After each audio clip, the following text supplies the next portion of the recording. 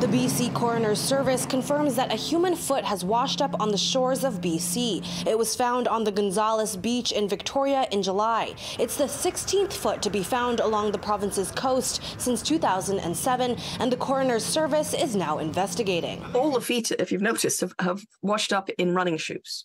They're not washing up in a pair of flip flops or a stiletto, they're in running shoes. Here at Vancouver's False Creek, a left foot in a sneaker was found in 2011. The right foot surfaced in 2012. They were both traced back to a man who went missing in 2010, according to the BC Coroner's Service.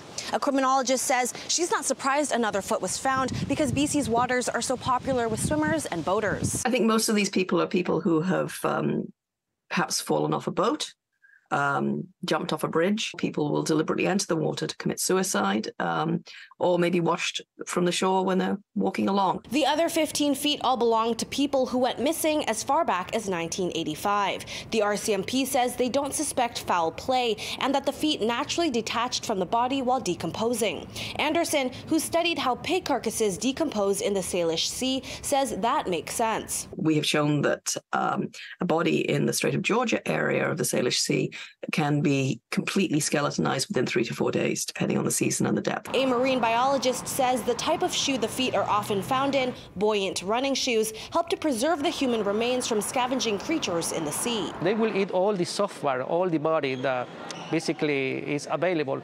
But what happened with the foot of a person that have like a sneaker or tennis or running shoes, basically that's a, a, floating device. So once it's disattached from the, from the body, that will go to the surface and will float. Alava says he's heard of shoes with human remains washing up in other coastal cities as well, and it speaks to how plastic pollution remains in the oceans. Today, the many plastic are used to preserve food items, to preserve organic matter, or to preserve other kind of material, like, like styrofoam, similar to that kind of plastic that can help to preserve right, the, the, the tissues in the food. This latest foot is the first reported to the coroner's service since 2018, but the experts say it won't be the last. In Vancouver, Sarah Chew, City News.